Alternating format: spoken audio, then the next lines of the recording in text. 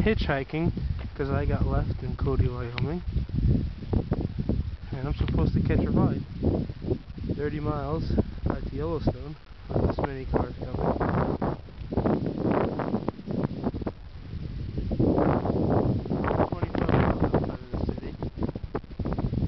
So I'm in the middle of nowhere. And doesn't look like I'm gonna get picked up anytime soon.